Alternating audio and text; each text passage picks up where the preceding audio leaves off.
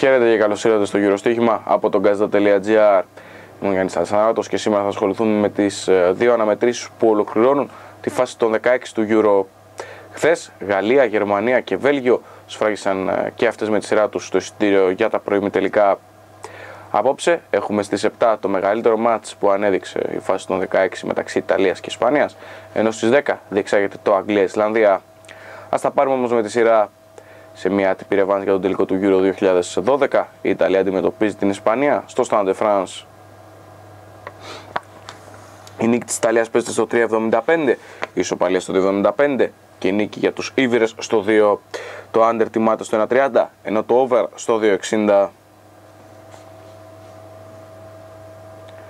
Η Ιταλία είχε εμφανιστεί κλασική Ιταλία έως τώρα, καθοδηγούμενη από έναν εξαιρετικό προπονητή όπως ο Αντώνιο Κόντε δείχνει σοβαρότητα και ότι ξέρει να παίρνει αποτελέσματα, ούσα συμπαγή στην άμυνα και αποτελεσματική στην επίθεση. Εξαίρεση αποτέλεσε το παιχνίδι με την Ιρλανδία στην τελευταία αγωνιστική των ομίλων, όμως ήταν βαθμολογικά αδιάφορη. Η Ισπανία προσγειώθηκε απότομα μετά την ήττα από την ε, Κροατία και βρέθηκε στο δύσκολο ταμπλό. Ο Βιθέντε Ντελμπόσκι αποφάσισε να μην φρεσκάρει την ενδεκάδα του στο τελευταίο μάτι των ομίλων και το αποτέλεσμα τον διέψευσε Η Ιταλία παραμένει χωρίς νίκη επί της Ισπανίας σε επίσημο παιχνίδι από το Μουντιάλ του 1994. Έχουν ακολουθήσει η επικράτηση της Ισπανίας στα πέναλτι στο Euro του 2008, το 1-1 στους ομίλους του Euro 2012 και το εμφατικό 4-0 της Ισπανίας στον τελικό του Κιέβου για την ίδια διοργάνωση.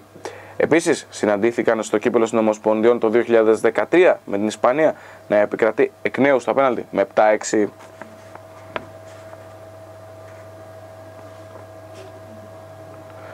Περιμένουμε ένα παιχνίδι το οποίο θα κρυθεί στη λεπτομέρεια με την Ισπανία να έχει την πρωτοβουλία των κινήσεων και την Ιταλία να δίνει έμφαση στην άμυνα και να προσπαθεί να βγει στην ε, κόντρα επίθεση.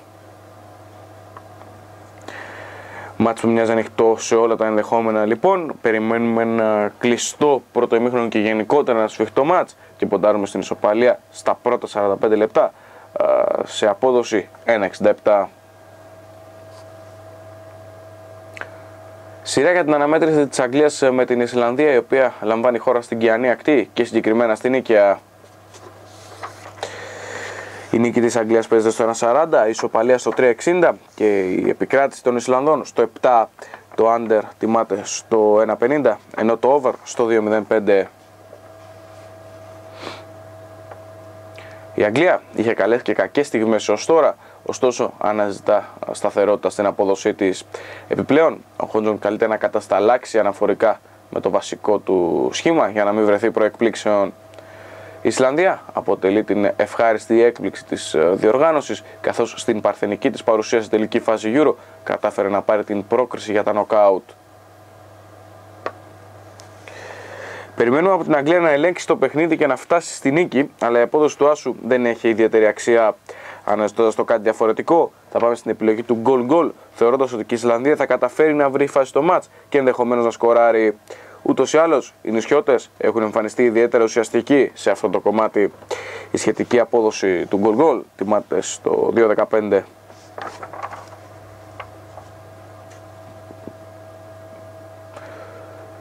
Κάπου εδώ ολοκληρώθηκαν ε, οι αναλύσεις μας για τις δύο τελευταίες αναμετρήσεις του Euro από την φάση των 16. Ε, Πριν σας αποχαιρετήσουμε, πάμε να δούμε συγκεντρωτικά τις επιλογές μας.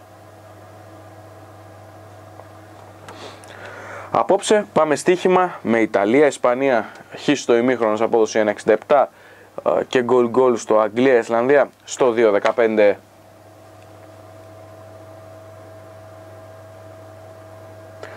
Ακόμα ένα γύρο στοίχημα έφτασε στο τέλος του. Ως την επόμενη φορά να είστε όλοι καλά. Γεια σας.